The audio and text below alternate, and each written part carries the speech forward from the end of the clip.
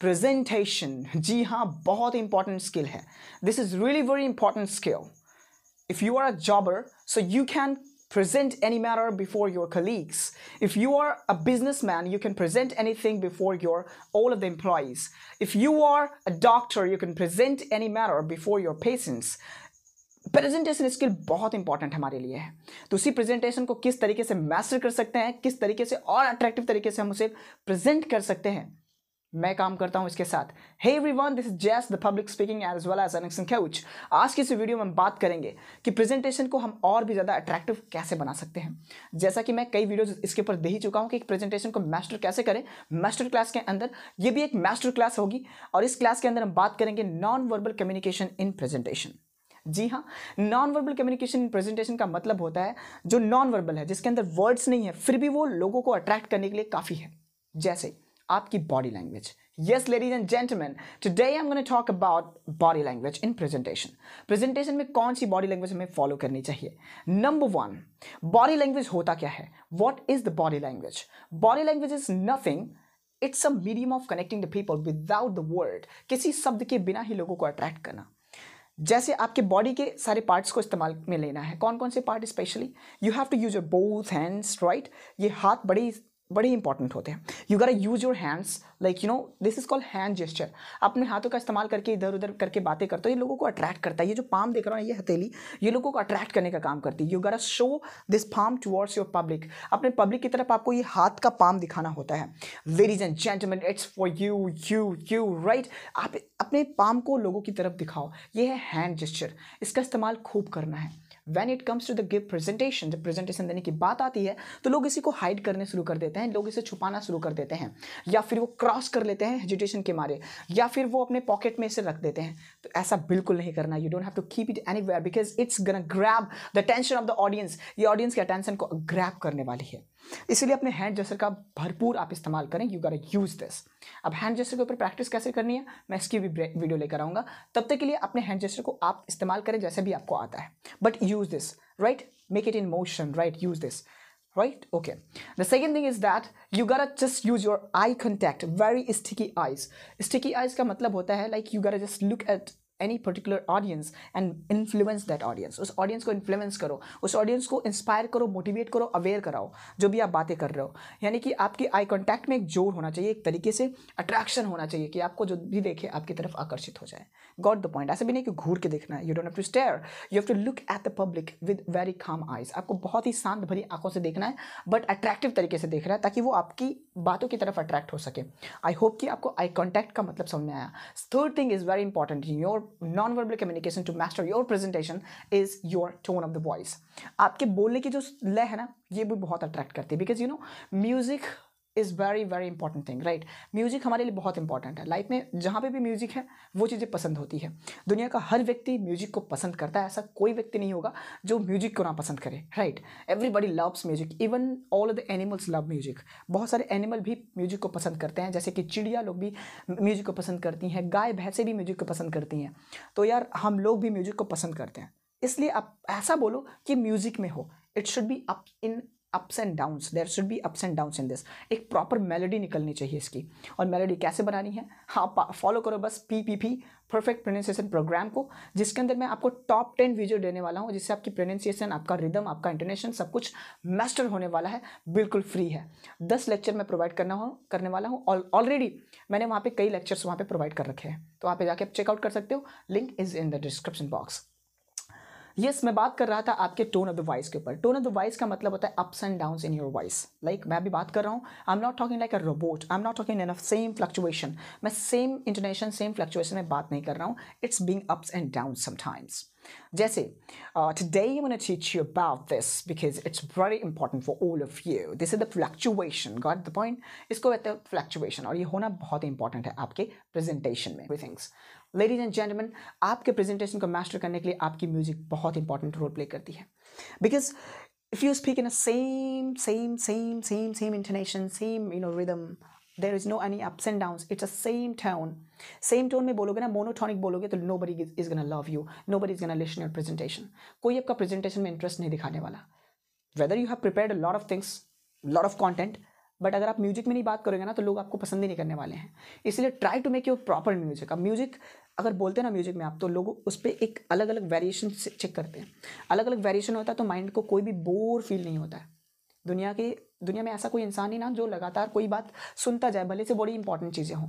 अगर आप उसे इंटरेस्टिंग वे में नहीं कहोगे ना तो नहीं सुनेगा। जितने भी मोटिवेशनल स्पीकर्स हैं, जितने भी बिज़नेस कोच हैं, जितने भी आंट्रप्रीनोर्स हैं, सबके अंदर एक स्किल है, वो है पब्लिक स्पीकिंग की, वो है प्रेजेंटेशन की स्किल राइट right, उनके अंदर है टोन ऑफ़ द वॉइस वो टोन ऑफ़ द वॉइस के अंदर बात करते हैं।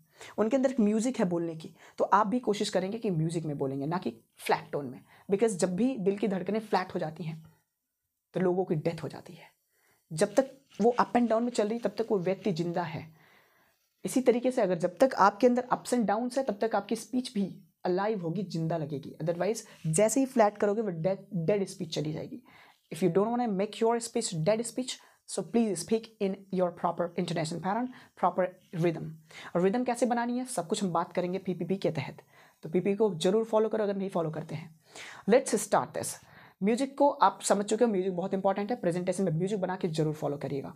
Now other thing is very important is pause pause is very important in your presentation pause का मतलब क्या होता है? ठहराव, रुकावट, हल्की सी रुकावट।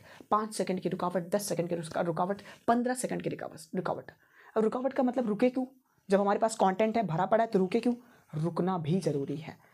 अगर आप किसी के माइंड में ढेर सारी बातें लगातार लगातार लगातार लगातार लगातार पंच के जा रहे हो बाउंस किए जा रहे हो तो एक एक ऐसा टाइम आएगा कि वो पागल हो जाएगा और निकल जाएगा सारा कुछ। बाहर निकलने चल लग लग जाएगा। समझ में नहीं आएगी बातें। उसको टाइम तो दो रिवाइज करे उस चीज़ को समझे उस चीज़ को एनालाइज करे क्या बोल रहे हो क्यों बोल रहे हो। गॉट द पॉइंट अगर आप कोई चीज़ पढ़ते जाओ पढ़ते जाओ पढ़ते जाओ पढ़ते जाओ तो पिछली बातें भूलते जा भूलते चले जाते हैं और पूरा बात हमें क्लियरली समझ में नहीं आता। इसीलिए आपको फॉज लेना बहुत इंपॉर्टेंट है। Pause means a very small, small, you know, gap between your sentences, between your voice. It lets the people think and analyze your matter. ये आपके सारी बातों को ना एनालाइज करने का मौका देता है, समझने का मौका देता है।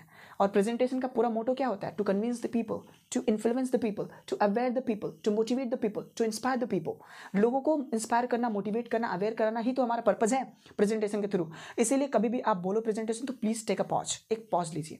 If you don't take pause so it will not be very understandable. समझने लायक नहीं होगी। Got the point if you wanna just make your speech to be understood so please be you know pause taker एक pause taker बनो।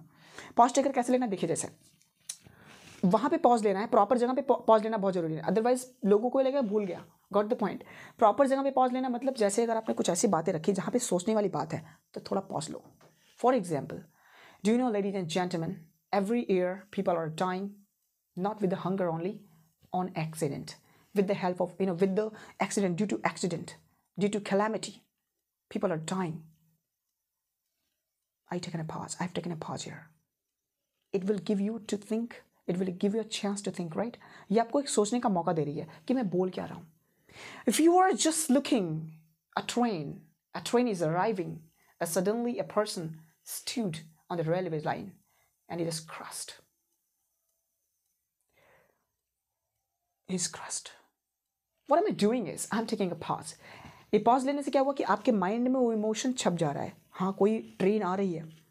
Train आई और उसके सामने एक इंसान आया, वो क्रस्ट हो गया। उसी में कुचल गया। कुचल गया। कुचल गया पे रुका क्यों? ताकि वो चीज़ आप सिचुएशन को फील कर पाओ और मेरी स्पीच से जुड़ पाओ, मेरी भावनाओं को समझ पाओ। Got the point so being a good presenter you must take a pause तो आपको पॉज लेना बहुत ज़रूरी है। पॉज वहाँ पे लेना है, जहाँ पे आपको लगता है कि लोगों को सोचना चाहिए, लोग यहाँ पे जुड़ सकते हैं, लोग यहाँ पे समझ सकते हैं बातों को, उनको समझना ज़रूरी है तो टेक अ पॉज और पॉज लेने के बाद एक बहुत इंपॉर्टेंट चीज़ होता है, अगर आप पॉज लेने के बाद आई कॉन्टैक्ट इधर उधर कर दिए, इसका मतलब ये हो जाए कि आप भूल गए हो। People will guess that you for in right लोगों को लगेगा भूल गया बंदा गॉट द पॉइंट इसीलिए जब भी आप पॉज लें तो लोगों की आँखों में देखते रहे। Keep looking in to the eyes of the people right keep looking ladies and gentleman this very important for all of you रुके रहो, देखते रहो। समझ में आ रहा है? तो ये देता ना, ये देखता है कि पॉज दिया है भाई, सोचने का मौका, कुछ बड़ी बात है। So pause is very important in presentation energy energy is the capacity of doing work ये फिजिक्स की डेफिनेशन है कि काम करने की क्षमता को हम ऊर्जा कहते हैं। और ऊर्जा होना एक प्रेजेंटर के अंदर बहुत इंपॉर्टेंट होती है। बिकॉज़ अगर आप प्रेजेंट कर रहे हो ना तो लोगों, जितने भी लोग आपको सुनने वाले हैं, वो लोग आप पे डिपेंडेंट हैं। कि कुछ अच्छा बोलेगा, हमको अच्छा फील होगा, हमको कुछ समझ में आएगा। इसीलिए आपको पूरी तरीके से फुल्ली रेडी होना है, एक अच्छी एनर्जी के साथ जाना है हेल्दी होके जाना है। Go with a solid entry एक solid entry low. Take a solid entry and solid entry के बाद खूब तगड़ी वाली स्पीच दो विद एनर्जी एक एनर्जी के साथ, एक फ्लो के साथ। एक फ्लो हो, एक एनर्जी लेवल हो, उसी एनर्जी में आपको बोलना है अपनी स्पीच को। और जब आपकी स्पीच फिनिश होती है, ख़त्म होती है तो आप स्पीच को फिनिश करते भी या एंड करते टाइम पे भी क्या करना है? आपको उसी एनर्जी में एंड करना है। Thank you very much for listing me have a very good day आपने फिनिश कर दिया। उसी एनर्जी में आप चले जाओगे वापस। आपको लूज होके नहीं जाना है। ऐसा लगेगा कि प्रेशर में स्पीच को दे रहा था प्रेशर में या प्रेजेंटेशन दे रहा था। तो प्रेशराइज प्रेजेंटेशन कभी नहीं होना चाहिए। और प्रेजेंटेशन का मतलब होता है कि आपको क्लियर बोलना है, समझाना है लोगों को। Not to be spoken only it's it is not all about speaking बोलना ही नहीं है, समझाना है इसका पूरा पर्पज इस वीडियो यहाँ तक वीडियो को देखने के लिए बहुत बहुत शुक्रिया। आज की वीडियो में हमने बात किया नॉन वर्बल कम्युनिकेशन किस तरीके से आपके प्रेजेंटेशन को अफेक्ट करती है, किस तरीके से आपके प्रेजेंटेशन को ज़्यादा इफ़ेक्टिव बना सकती है। नेक्स्ट वीडियो लेकर आ रहे हैं। विजुअल कम्युनिकेशन किस तरीके से आपके प्रेजेंटेशन को अच्छी बना सकती है? जैसे कि उसके अंदर चार्ट पेपर का इस्तेमाल करना पीपीटी का इस्तेमाल करना राइट right, कोई ऑब्जेक्ट का इस्तेमाल करना किस तरीके से हम ऑब्जेक्ट का इस्तेमाल करेंगे किस तरीके से पीपीटी बनानी है पीपीटी की कितनी स्लाइड बनानी चाहिए पीपीटी को किस तरीके से ईजी बना सकते हैं ये सब बात करेंगे हम नेक्स्ट वीडियो में। Thank you very much for watching this video have a good day and have a good presentation